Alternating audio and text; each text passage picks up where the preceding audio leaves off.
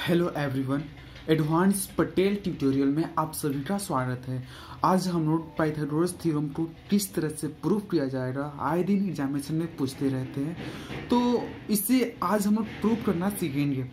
सबसे पहले इसके क्वेश्चन के पूछने के तरीके के बारे में बात कर लेते हैं। क्वेश्चन हमारा दो तरीके से पूछ सकता है। पहला ये क्वेश्चन बोलेगा, जैसे यहाँ पर दिखाया गया state and proof Pythagoras theorem मतलब ये कि आपको पाइथागोरस थ्योरम का स्टेटमेंट लिखना होगा उसके बाद उसे प्रूव करना होगा या फिर क्वेश्चन में ही डायरेक्टली स्टेटमेंट दिया रहेगा ये वाला, और आपसे पूछेगा कि इसे आप प्रूव कीजिए। क्लियर है? उस सिचुएशन में, किसी भी सिचुएशन में हो ओके उसके लिए हम लोग करेंगे क्या?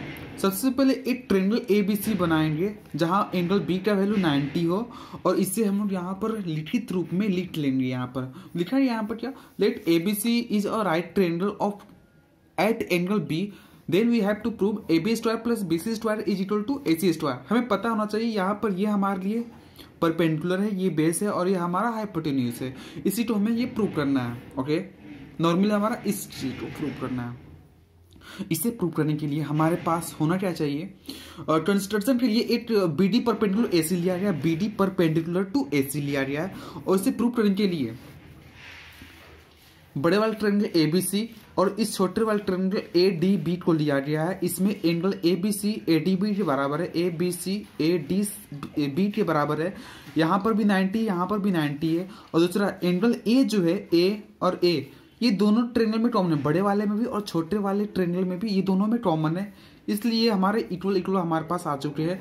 और किसी भी दो, किसी भी दो ट्रेंगल में जब दो कंडीशन हमारे पास आ जाते हैं, वो भी एंगल एंगल तो तो वहाँ से हमारे पास ट्रेंगल ए बी सी जो है ट्रेंगल ए डी बी का सिमिलर हो जाएगा। और सिमिलर हमारे सिमिलर के माध्यम से हम लोग जो है कोरस्पॉन्डिंग पार्ट को जो है प्रोपोर्शन के फॉर्म में हम लोग लिख सकते हैं, वो हमारा इक्वल होता है। ये हमें सिमिलरिटी में पढ़ना है।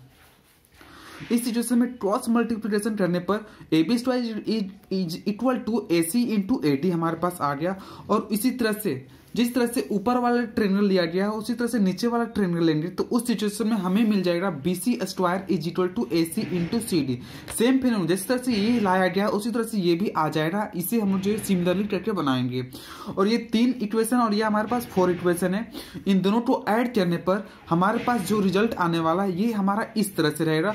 एल एच एस टू इसमें जोड़ दिया गया है और इसको आर एच एस वाले को इसमें लिखा गया है। इन दोनों इन दोनों पार्ट में जो है एसी दोनों में कॉमन था एसी एंड एसी इनको बाहर निकाला गया और इनको बाकी जो बचा यहाँ पर लिखा गया। एडी प्लस सी ये हमारा एसी के बराबर है। ये किस तरह से एडी प्लस सी याद रखें? ये हमारा एडी प्लस सी ये एडी प्लस सी के बदले में हम पूरा पूरा ए सी हम कर सकते हैं। इसलिए एडी प्लस सी डी को यहाँ से हटाया गया और उनके बदले में ए सी ये वाला, और इनके बदले में ए सी यहाँ पर लिखे इन दोनों का मल्टीप्लीकेशन ए सी स्क्वायर के बराबर आया। जो हमारा रिक्वायरमेंट था, वही हमारा यहाँ पर आ गया। इस तरह से हमारा पाइथागोरस थ्योरम प्रूव हुआ है। अगर आपको इसके, इससे रिलेटेड कोई भी डाउट हो तो आप आसानी से आप कॉमेंट बॉक्स में आप पूछ सकते हैं। Thank you to watching my video